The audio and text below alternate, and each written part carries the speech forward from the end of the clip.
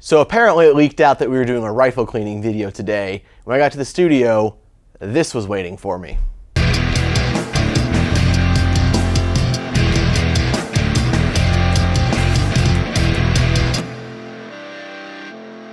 How's it going guys? I'm Wes. Today we are going to be cleaning this AR pistol. Um, this is actually one of my personal firearms. I built it mostly with BDU house parts with a couple upgrades like the law folder, Geissele trigger, a couple fun things like that.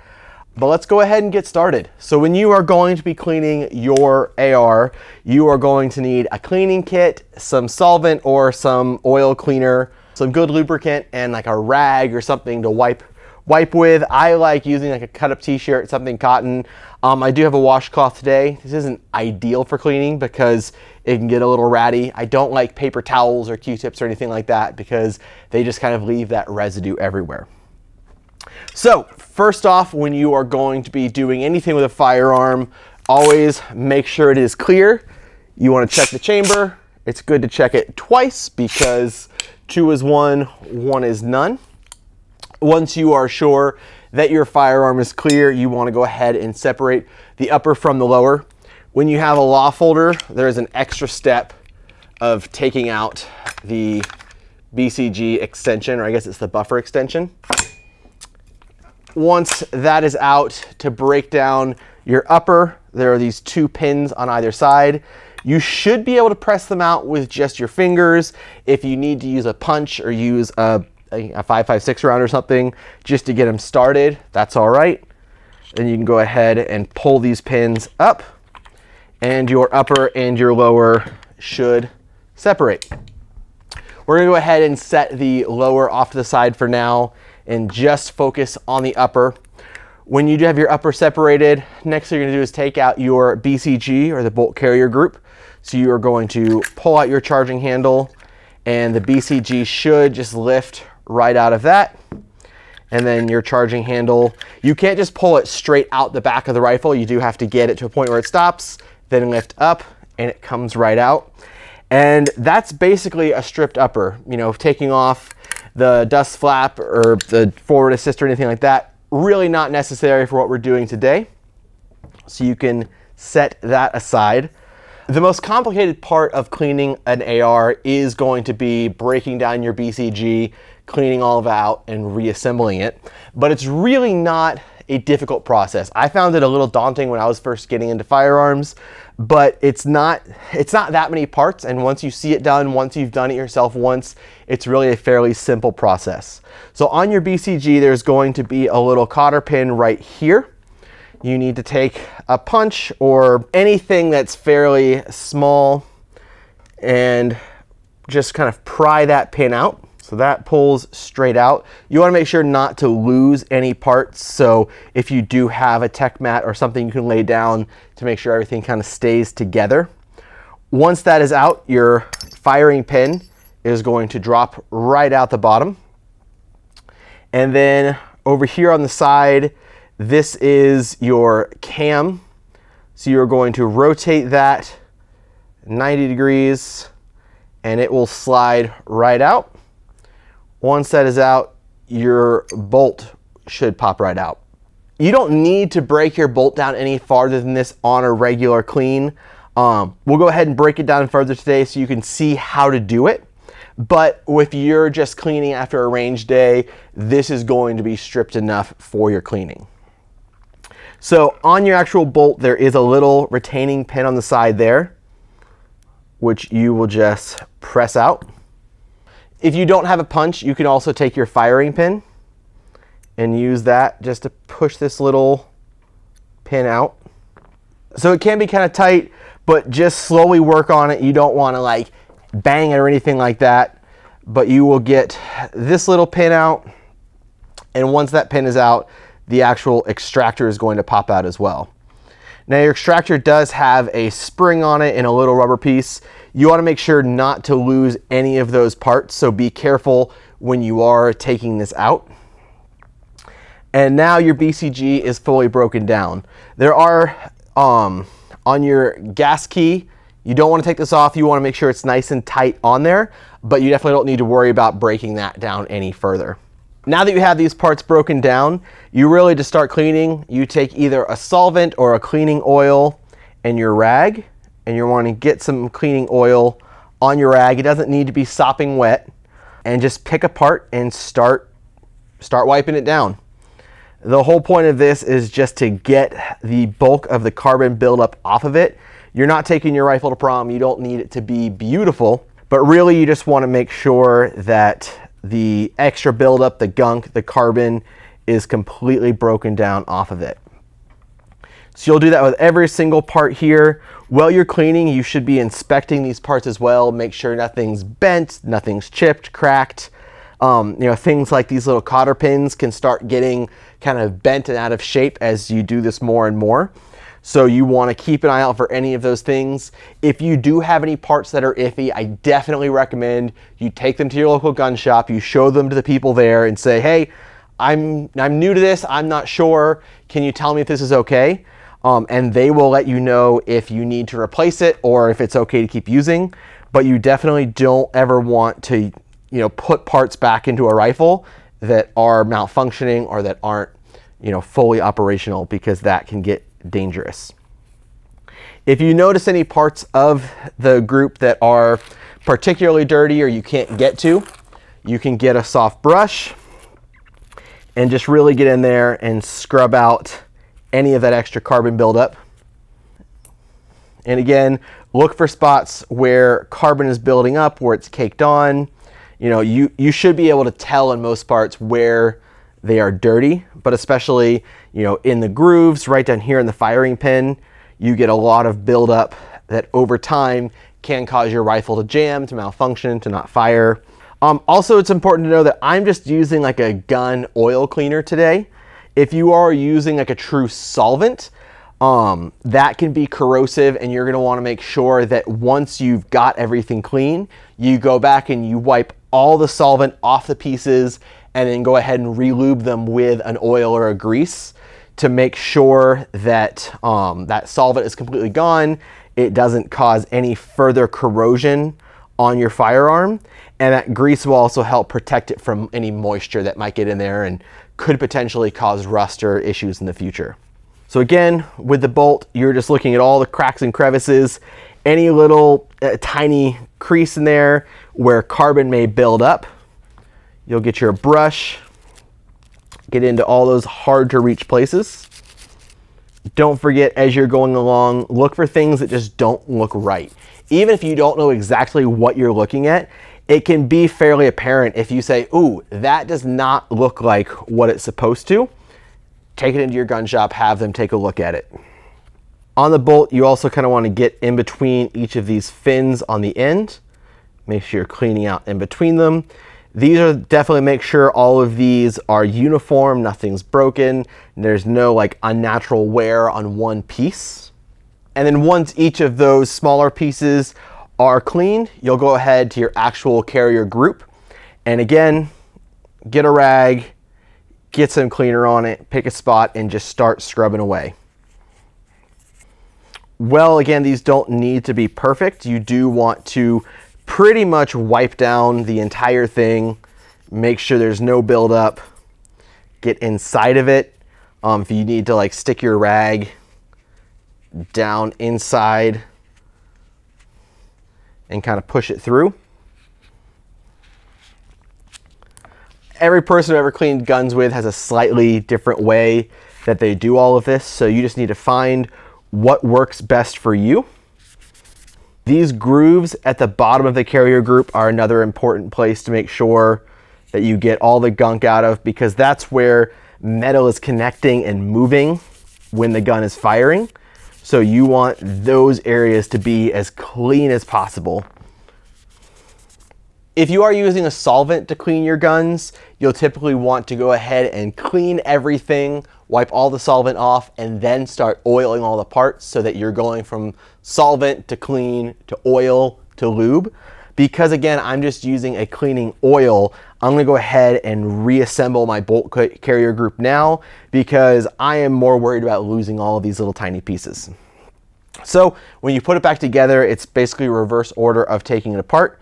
So you'll start by taking your bolt and the extractor, And you'll drop that in, making sure again, that little spring on the end is still intact. You are gonna need to apply some pressure onto that spring to get these holes to line up in the side here. And then you'll take that pin that we popped out earlier and you will just pressure fit that right back into place, making sure that it's flush on both sides. Now, once that's back in there, we can go ahead and reinsert the bolt into the bolt carrier group. may take a little bit of pressure. Now you're gonna wanna make sure that this is rotated so that there you can see that hole where your cam inserts. Your extractor is kind of gonna be up over here at like two, three o'clock. You'll go ahead and reinsert your cam, give it a twist. And then once that's back in place, you can go ahead and reinsert your firing pin. That drops back into place and you'll take your cotter pin and you can just add manual pressure to pop that back in. So now our BCG is clean. We'll go ahead and set that aside for now. On the rest of your upper, you don't need to break this down any further, take the barrel off or anything, but you do want to clean out the inside of this receiver. So we'll go ahead and we'll take our rag, get a little bit more oil cleaner on there, and just start scrubbing out the insides the best you can. You can also take your brush, put some cleaner on the inside there, and brush off any, any and as much carbon buildup as you possibly can. All right, so moving on to cleaning the barrel out. There's a couple different techniques and equipment you can use. You can use a bore snake. They have like these cables that you can use. I personally like using the metal bars because you have a nice T-handle at the end to pull it through. Um, see what works for you. It just can really suck to get these things stuck in your barrel. So you get this little brass tip here. Um, I like to start by adding some of my oil cleaner or solvent, whatever you're using to clean out your barrel. Um, I start by getting the barrel nice and wet just to help start breaking down and loosening up that carbon before we start running brushes through it. Whenever you're running anything through your barrel, you always want to go back to front. That is how barrels were designed to be used so you never want to shove anything up from the front. So once that pad is in there, I'll give it a few spins at the top just to kind of get it going, make sure that oil is all the way around um, and well distributed. I will attach my T-handle and then just pull it through. This may take a little bit of force, so don't be afraid to really put your back into it. Um, but that'll pull all the way through you'll see it's going to start getting some of that carbon buildup off. So once you have some oil in your barrel, you've started breaking down that carbon, you'll go ahead and take one of your metal brushes and you will run that through the same way. Again, if it's a little bit tough to pull through, you can get something with a T-handle and that'll just make it a lot easier for you to get a better grip on there. And you'll go ahead and pull that through. I typically like to run these through two or three times depending on how dirty your barrel really is, just to make sure that you've really gotten all the carbon out of there.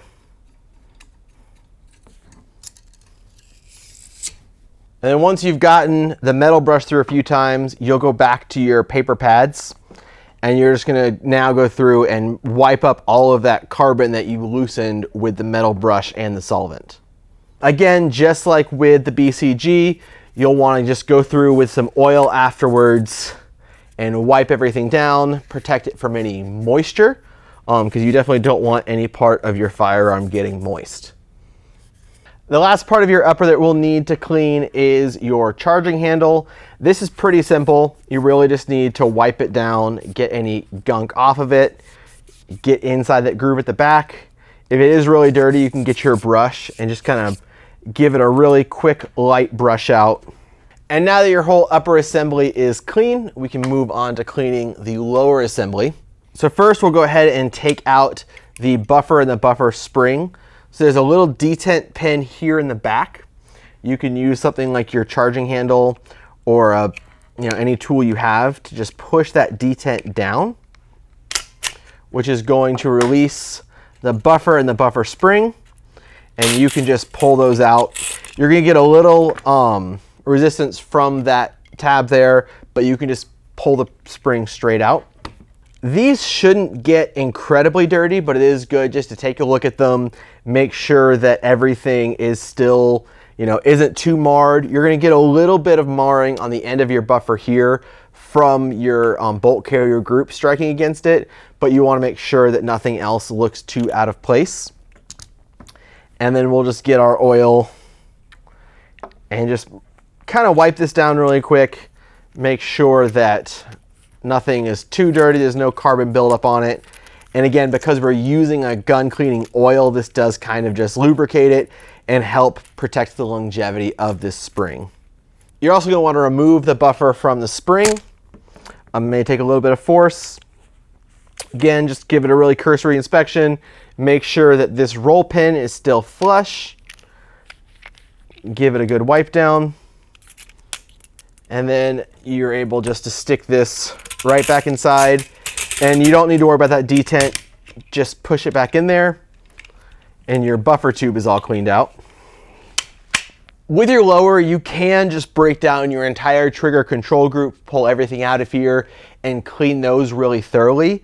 There is a little bit of different schools of thought on how much wear and tear that adds to those pieces, if it's worth it to do that to the springs, taking them out, reassembling them, how often you should do that. So you wanna give everything a good wipe down. If there is any carbon buildup, go ahead and take it out. Use the brush if you need to. It is good to add lubricant anywhere you have metal rubbing against other metal, but I definitely don't recommend dumping a bunch of lube down inside the trigger control group because that can lead to malfunctions, it can lead to it not catching properly, and more issues further on. So if you have any areas where you see wear and tear or you have metal contacting metal, you can lubricate it a little bit, but for the most part, not much in your lower actually needs to be lubricated. So I'm gonna go ahead and call this firearm clean. We're ready to go ahead and start reassembling. As you reassemble these pieces, you do want to lubricate them as you go. Just look for wear and tear, look for spots where you have metal contacting metal, and that's where you want to add your lubricant. So typically with your charging handle, it may help to add just a little bit of lubricant on there. Um, things like this Lucas oil where you have this needle tip is really nice to add just a little bit of lubricant at a time. Anywhere you, where you see metal interacting with metal, you see you know, wear and tear on these parts. And then you'll insert this charging handle. Um, there's a spot where it's gonna just drop down in there. So when you reinsert it into the upper, um, you'll feel it drop down into place and that's where you can go in. From there, your bolt carrier group. The real parts where you wanna lubricate on here are these rails. That is where it's sliding against the rest of the firearm. So you want to add some lubricant right in there. It also doesn't hurt to add a little bit of lubricant to the bolt as well, as well as these little holes in the side, just to make sure that that bolt is going to slide nice and smoothly inside your rifle. Before you can insert your bolt carrier group back into the upper, you do need to make sure that the bolt is forward. So you can either pull it forward again. That's good to make sure everything's lubricated. If it's kind of stuck, you can, you know, give it a sling and that may help move that forward. And then you can go ahead and drop that into your charging handle. You're gonna wanna make sure that your gas key is facing the charging handle because that is what's gonna drop into that groove. And once that's in, those parts can just slide right inside the upper and click and then you'll just mate the upper with the lower and those pins should drop right back into place. Again, because I'm using the law folder, I do have this buffer extension that I have to drop back in as well for the firearm to function. And we're all good to go. It's always good to check your firearms, make sure everything is still functioning after you clean it. So check to make sure it's clear. I know we just cleaned it. I know it's clear. Anytime you're gonna pull the trigger on your firearm, you should check it, make sure it's clear. You just always check it. So check to make sure it's clear. Go ahead, point the firearm in a safe direction. Pull the trigger. Hold the trigger down when you charge it again. Feel the release. And that firearm is functioning properly. We have done a full video on how often you should clean your firearms, what you should use to clean your firearms. I definitely recommend that you click the card up above me, watch that video as well. If you need any accessories for your firearm, if you need cleaning kits, oil, any of that, we do have it available at BigDaddyUnlimited.com. There will be a pinned comment down below. Follow that link. It's only 99 cents for your first month if you're not a member already. And you guys have a great day and stay safe.